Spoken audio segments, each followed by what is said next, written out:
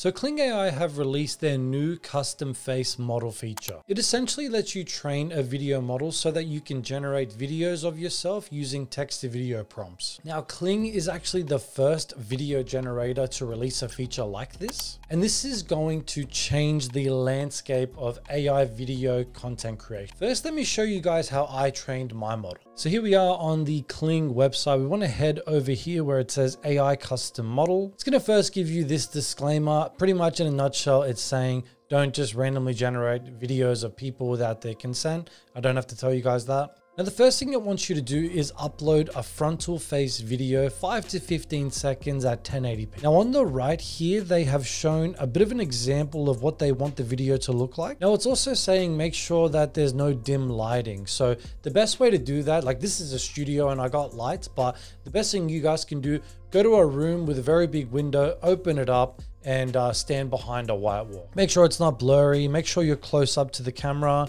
There's something here as well about obviously not having not having subtitles, and obviously don't include anybody else in the shot. This was the video that I used. It was about I think 12 to 13 seconds, and I literally was just staring at the camera. Then it asked me for about 10 to 30 additional videos of me doing different actions or expressions. On the bottom right were some action demonstrations that I copied. I did about 22 videos out of the first 30 and then I started training my model. Now it does cost 999 credits to train a model. Keep in mind you only have to do this once. Another thing to consider is that you need at least the Pro and the Premier plan to use this feature. So the model training took about two or three hours and I actually got an email to let me know that it was done. So now when I actually go here and I click AI video, we want to head over here where it says text to video.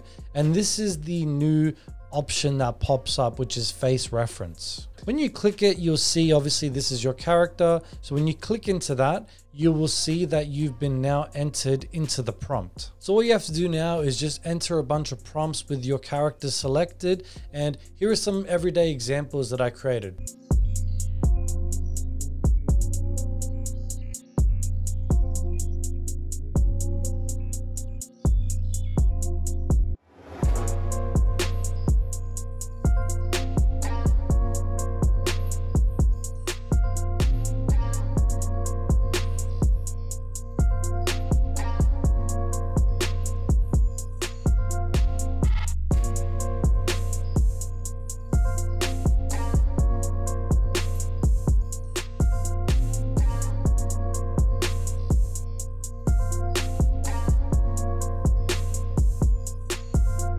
Then I was trying to be a little bit more creative. So here are some more interesting posts that I was able to generate.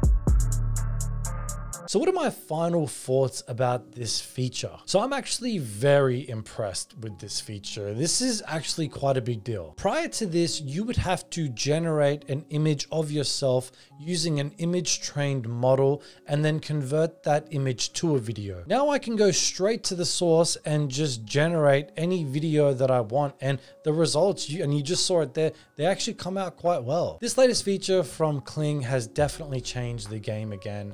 I'm interested to see what are the features or maybe what are the styles or options they're going to release.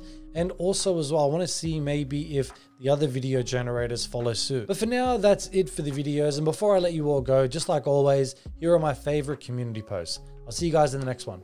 Peace.